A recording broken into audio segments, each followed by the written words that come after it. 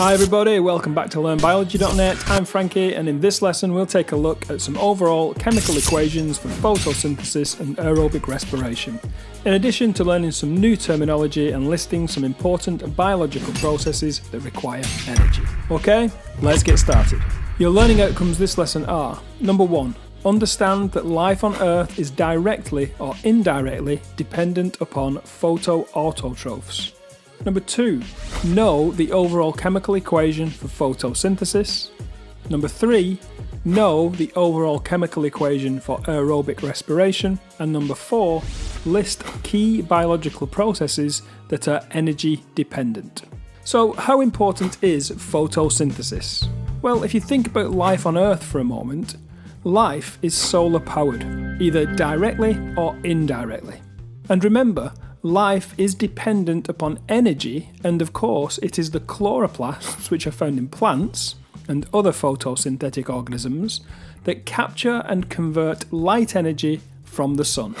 Light energy is converted into chemical energy, and the process of capturing and converting light energy into chemical energy is called photosynthesis. So, either directly or indirectly, the process of photosynthesis sustains life on Earth. And that is a pretty important process to know about. So, we've established that life needs energy, and the primary source of that energy is through photosynthesis.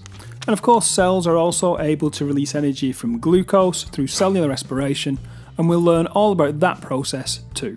Plants are organisms known as photoautotrophs. So, what are photoautotrophs? Well, you know that photo means light, and auto means self. The term trophos means feeder.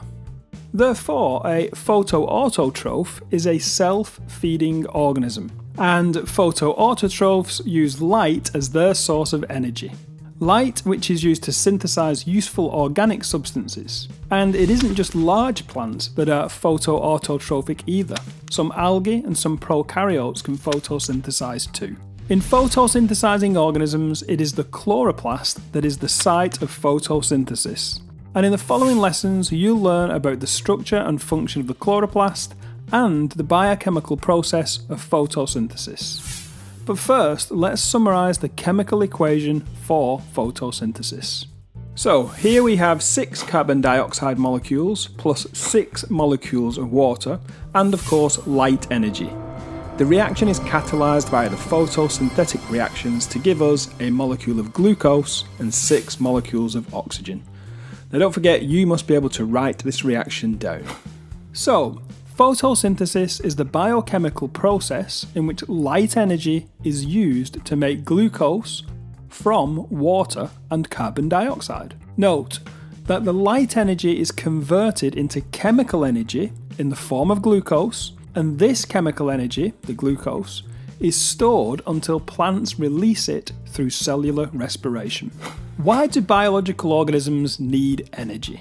Well, when learning A level biology, you could be asked why you need to know about photosynthesis and cellular respiration, and therefore why organisms, and thus biological processes, need energy. It is important that you can list a few key examples. So, plants need energy. Number one, photosynthesis. Know that photosynthesis is a series of biochemical pathways, a sequence of reactions that is energy dependent. Number two, active transport. Always a good example for an energy dependent process. Remember, in plants, it is active transport that allows for the uptake of minerals via their roots. Number three, DNA replication.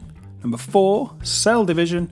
And number five, protein synthesis. All are good examples of energy dependent processes. Now, moving on to animals, animals are heterotrophic. Hetero means other, and trophic, as we've talked about before, means feeder. So, literally, this means that all heterotrophic organisms are unable to produce their food like autotrophs can. They, the heterotrophs, must obtain their food and in turn their energy from other means. Heterotrophs are therefore consumers. For example, animals eating and consuming plants and or other animals. And they do this in order to obtain their energy. And once again, we return to the key point that all life, well, either directly or indirectly, is dependent upon the photosynthetic organisms for food and oxygen, which don't forget for us is a very important byproduct of photosynthesis. Some key examples of why animals need energy. So, number one, we have movement. Specifically, you'll need to talk about muscle contraction. Number two, we have regulation of body temperature. Third, we have active transport. Four, we have DNA replication. Number five, we have cell division. And number six, we have protein synthesis. And again, these are all good examples of why animals need energy. Of course, there are countless examples of why and how plants and animals require energy, and the ones I've just mentioned are some of the more commonly expected answers. So make sure you have those boxed off. The final part of this lesson is to consider the fact that cells also release energy from glucose via cellular respiration. Both plants and animals are able to release stored energy from glucose, and it is this that is then put to work to power all biological processes in a cell. And you'll learn about both types of cellular respiration. Number one, you'll learn about aerobic respiration, which is respiration with oxygen.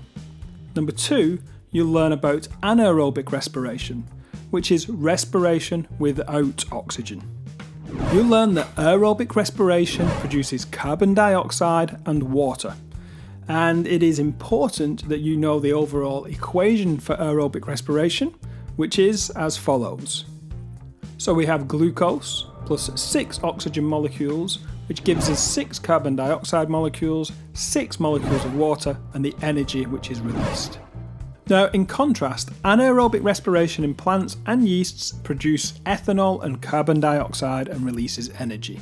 However, in humans and animals, Anaerobic respiration produces lactate and releases energy. Uh, despite being a short lesson, that is a lot of information that you must know before continuing. So make sure you review this lesson as many times as you need, complete the accompanying lesson booklet, and then you'll be ready to go on to learn about photosynthesis and cellular respiration in more detail. So until then, take it easy.